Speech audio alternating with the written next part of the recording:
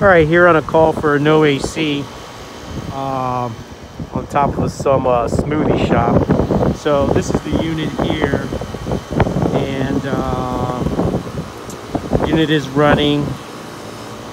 The compressor's running. I checked all the electrical connections, which seems to be fine.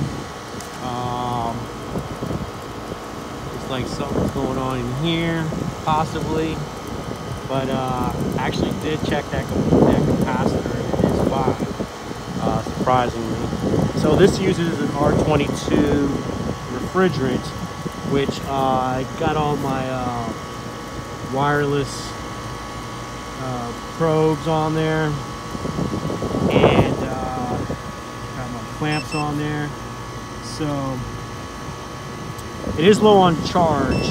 I'm only reading 29 psi's and uh, saturation is pretty low too. So I'm gonna go ahead and uh, take a look downstairs and uh, see what the filters look like see if they have been changed or not. Which they probably haven't. Um, so this is the view here. On this rooftop here first I thought it was I thought it was that system there because uh, it's covered up. I don't know why it's covered up, but uh, that's not the system though. So it is this one here. This is a heat pump. So it's pretty old. I mean, I, I can't tell how old this thing is. It's a Ducane system. As you can see, the label's kind of worn off. It might be, uh, I cannot tell from the serial number but it is um, R22 here. Uh, let's see here.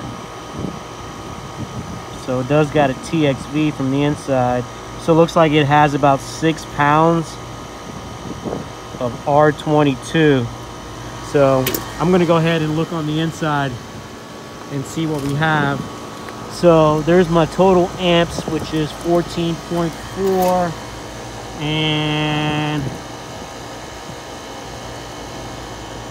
on the compressor side it says about 32